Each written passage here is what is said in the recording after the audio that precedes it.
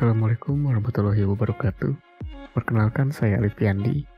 Pada video ini kita akan membahas 10 soal computational thinking untuk kelas 3 SD.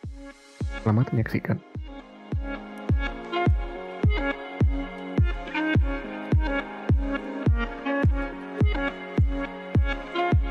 Soal nomor 1. Sarah dan keluarga sedang menonton berita di TV tentang perakiraan cuaca yang akan terjadi di beberapa kota besar di Indonesia. Cuaca yang ditampilkan di beberapa kota tersebut adalah Banten cerah, Surabaya berawan, Bandung hujan, dan Semarang mendung. Jika kita perhatikan, asal kota yang ada di Indonesia yang berasal dari sebelah timur adalah Surabaya, Semarang, Bandung, dan Banten. Bantulah Sarah untuk mengurutkan cuaca dari mulai kota yang paling timur di Indonesia. Untuk menjawab soal berikut, kita perlu mengurutkan cuaca berdasarkan urutan lokasi yang sudah dijelaskan. Mari kita urutkan kota-kotanya dari yang paling timur, lalu kita cocokkan dengan cuaca yang sudah dijelaskan. Hasilnya seperti ini. Setelah itu, kita dapat mengetahui urutan cuacanya yaitu berawan, mendung, hujan, lalu cerah. Maka jawaban dari soal ini adalah A.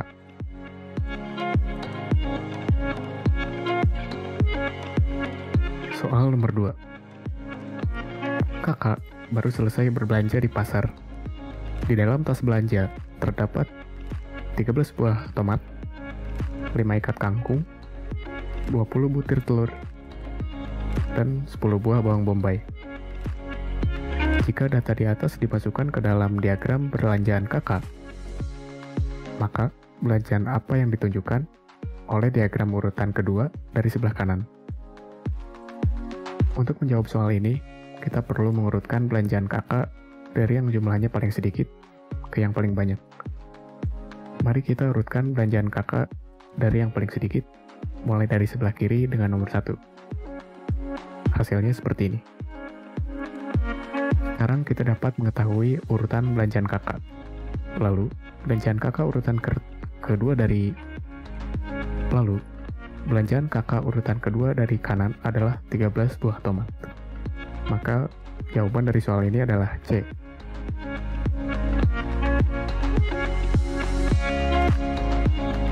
Soal nomor 3.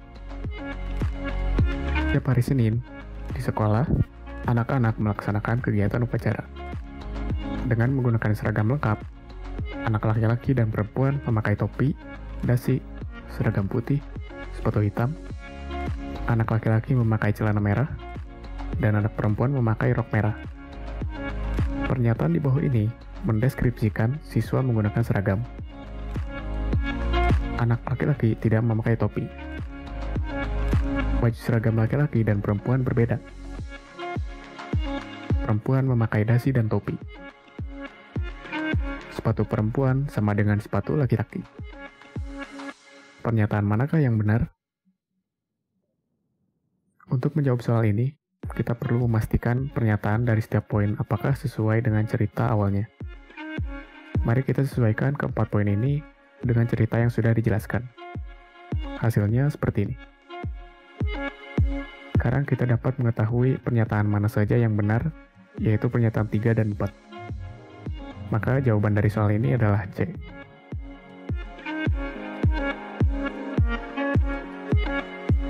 Soal nomor 4. Denada diberi uang oleh ibu untuk membeli tiga peralatan. Denada diberi uang oleh ibu untuk membeli tiga peralatan sekolah sesuai kebutuhan.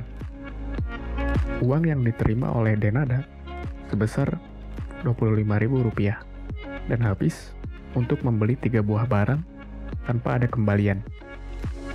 Tiga barang apa saja yang dibeli Denada? Untuk menjawab soal ini, mari kita jumlahkan harga dari semua barang yang dibeli pada setiap jawaban yang ada. Mari kita jumlahkan semua berdasarkan gambar di atas. Hasilnya seperti ini. Sekarang kita tahu, uang denada habis untuk membeli lem, pencerut, dan penghapus. Maka jawaban dari soal ini adalah C.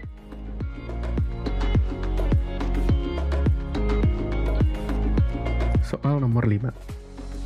Nia ingin hamster ada di paling depan daripada kucing. Baris mana yang memenuhi keinginan Nia?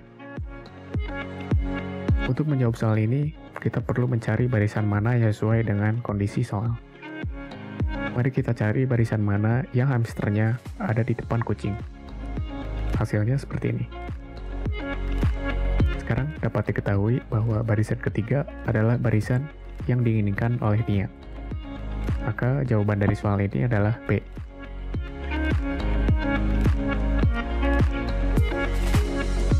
Soal nomor 6.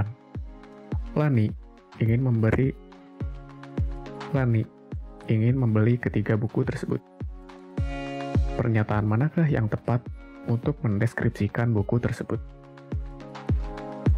Untuk menjawab soal ini, kita perlu memastikan pernyataan dari setiap jawaban apakah deskripsinya sesuai dengan gambar. Mari kita cari jawaban mana yang sesuai dengan gambar. Deskripsi yang sesuai adalah deskripsi D. Maka jawaban dari soal ini adalah D.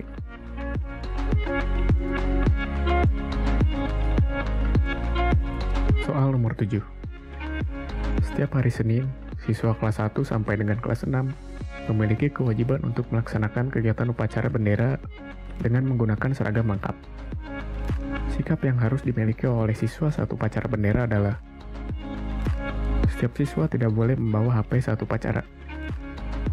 Datang ke sekolah maksimal 10 menit sebelum kegiatan dimulai. Menggunakan atribut lengkap seperti topi, dasi, sepatu hitam, dan kaos kaki putih. Hanya kelas 4, 5, dan 6 saja yang wajib mengikuti upacara. Dari pernyataan di atas, manakah pernyataan yang tidak sesuai dengan peraturan di sekolah? Untuk menjawab soal ini, kita perlu memastikan pernyataan dari setiap jawaban mana yang deskripsinya tidak sesuai dengan cerita. Mari kita pastikan satu persatu. Jawaban A, C, dan D sesuai dengan soal. Hanya jawaban B yang tidak sesuai. Berarti, jawaban dari soal ini adalah B.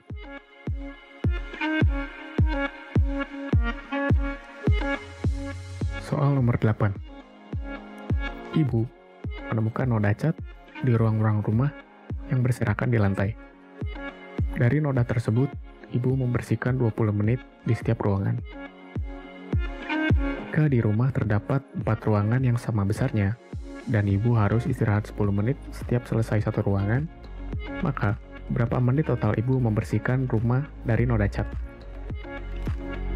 Untuk menjawab soal ini, kita perlu menghitung lama waktu ibu membersihkan ruangan, lalu ditambah waktu istirahat, dan terus berulang sampai ada empat kali waktu membersihkan. Mari kita hitung total waktu ibu membersihkan ruang-ruang. Hasilnya seperti ini. Jika kita jumlahkan, maka ibu membersihkan seluruh ruangan selama 110 menit.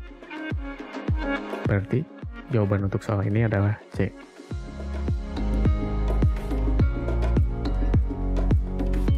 Soal nomor 9. Terdapat bangunan dengan ruangan yang sangat banyak yang diberi tanda nomor secara berurutan dari kiri ke kanan. Pekerja akan melanjutkan pembangunan di ruang nomor 1302. Ke manakah pekerja harus pergi? Untuk menjawab soal ini, kita perlu membayangkan situasi seperti yang diceritakan soal. Dari cerita soal, kita mengetahui bahwa urutan nomor ruangan tersusun berurut dari sebelah kiri. Kita perlu mencari nomor ruangan dengan angka yang lebih kecil dari nomor ruangan sekarang. Artinya, pekerja harus pergi ke kiri. Berarti, jawaban dari soal ini adalah B.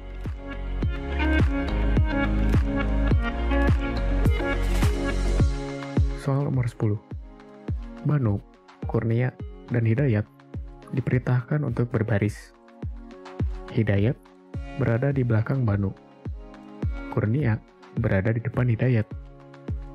Banu berada di paling depan barisan. Bagaimana urutan barisan mereka? Untuk menjawab soal ini, kita perlu mengurutkan satu persatu sesuai cerita. Mari kita urutkan semua orang. hasilnya seperti ini. Maka jawaban dari soal ini adalah A. Sekian pembahasan 10 soal computational thinking untuk kelas 3 SD. Semoga bermanfaat. Terima kasih atas perhatiannya. Saya Alif Yandi. Wassalamualaikum warahmatullahi wabarakatuh.